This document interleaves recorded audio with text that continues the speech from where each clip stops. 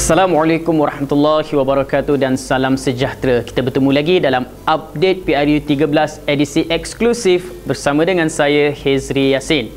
Kajian yang dijalankan oleh Pusat Kajian Pilihan Raya dan Demokrasi Universiti Malaysia UMCDEL mendapati rata-rata pengundi bersetuju bahawa manifesto Pakatan Rakyat lebih memenuhi harapan rakyat berbanding manifesto BN.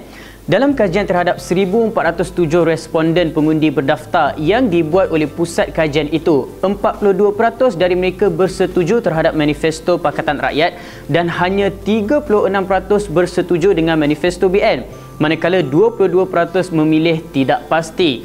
Kajian yang bertajuk Pilihan Pengundi Menjelang Hari Mengundi dalam PRU 13 dibentangkan oleh pengarah UMCDEL Profesor Datuk Dr. Rizwan Othman pada satu sidang media di Universiti Melaya semalam.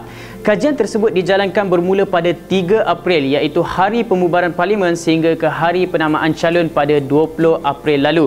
Antara tawaran paling memberi kesan kepada pengundi adalah tawaran penurunan harga minyak yang dijanjikan Pakatan Rakyat bila berjaya menguasai pentadbiran negara. Tawaran lain yang turut disokong pengundi termasuklah menghapuskan tol, menurunkan harga kereta, penurunan caj elektrik dan harga air lebih rendah, penghapusan PTPTN, pemberian permit teksi individu serta gaji minima. Which one actually fulfill the the wish of the people, the wish of the rakyat? It's very clear that uh, BN for the Malays 58%, for the Chinese 25%, for the Indian 50%.